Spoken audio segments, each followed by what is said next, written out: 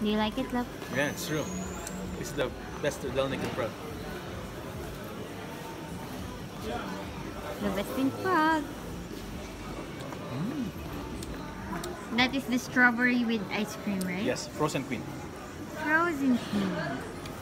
Yum. Mm.